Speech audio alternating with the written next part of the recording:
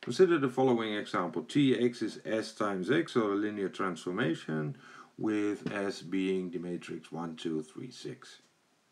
So t of x is s times x. And if we write down x in coordinates, then we get x1 times the first column of s, 1, 3, plus x2 times the second column of s, 2, 6. Well, so 2, 6 is 2 times the column 1, 3, so actually what is written here is x1 plus 2x2 times 1, 3. So by varying x1 and x2, we see that the image of S, ms, equals all combinations, all linear combinations of one vector 1, 3. Is varied over r.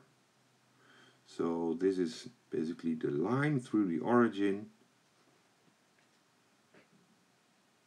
with direction vector 1, 3 or put differently, it's spanned by the vector 1, 3.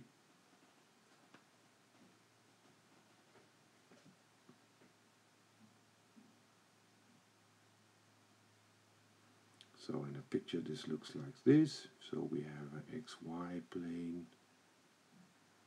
and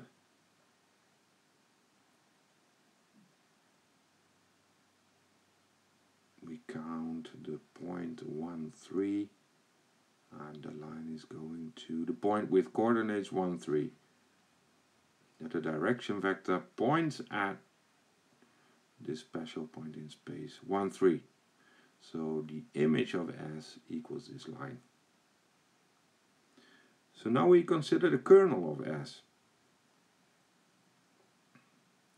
Well, in order to to determine the kernel of S, we solve again the homogeneous system of linear equations where we first put S and augment it with the zero vector. And then of course, since the second row is just a multiple of the first row, we get the following expression for the reduced row echelon form. So we see that we may conclude that x belongs to the kernel of S when x is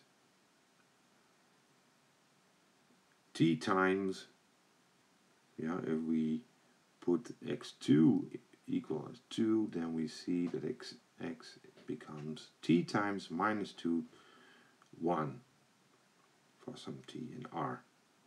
So basically the kernel here is again a line through the origin, but now with direction vector 2, minus 2, 1.